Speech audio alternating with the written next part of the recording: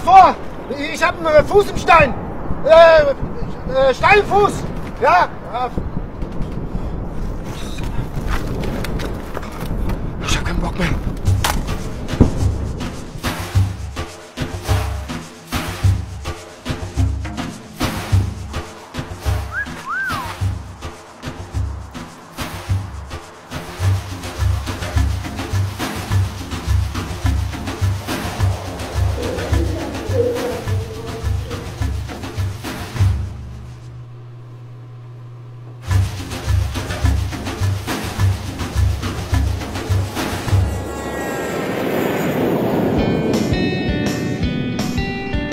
Ahmed ist vor zwei Jahren aus Marza nach Syrien ausgewandert. Doch es lief nicht immer ideal für ihn. Er wollte zurück, doch sein Arbeitgeber entpuppte sich als der reinste Terrorist und wollte ihn nicht gehen lassen. Also irgendwie war das schon hart. Unbezahlte Überstunden, Freitagsarbeit, Lohnstundungen. Also die meinten irgendwie, ich krieg einen lebenslangen, also quasi Arbeitsvertrag und ähm, ja, monatliche Kündigung wäre nicht. Jetzt versucht Ahmed, sich eine neue Existenz in Deutschland aufzubauen. Zuerst dachte ich, ich gehe meinen Job als Molekularphysiker zurück.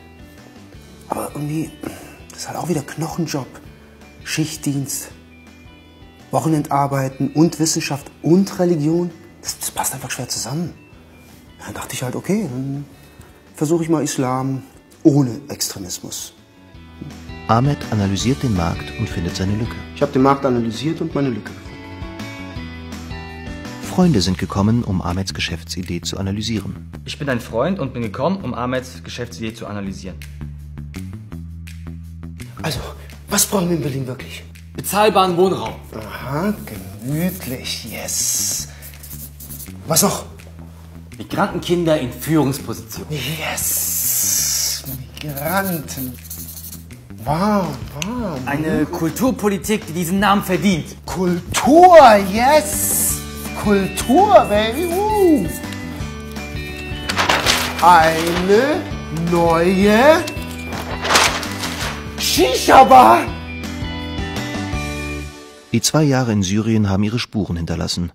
Ahmed fällt noch immer in alte Verhaltensmuster und es fällt ihm schwer, Kritik anzunehmen. Wenn du, sagen wir mal, in Kreuzberg gemütlich eine Pfeife rauchen willst, wo gehst du da hin? In die Akraba. Ja, okay. Außer der Akraba. Hi, hi. Okay. Außer der Hai Hai und der Akraba. Ich meine, wo gehst du da? Wo kannst du da noch hingehen? Hä?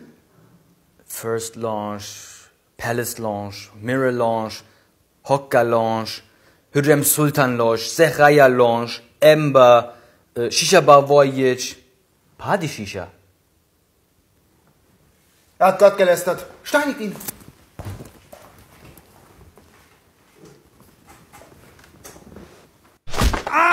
Sag mal, spinnst du? Wird sich Ahmed an die neuen Lebensbedingungen gewöhnen?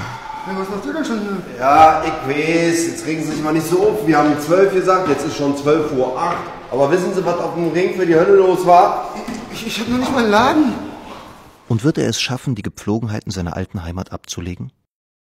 So, dann haben Sie hier jetzt alles gesehen.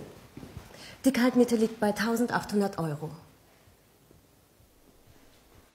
Ergreift sie. Sie ist nicht verschleiert. Ja, Sie ja nun mal leider auch nicht.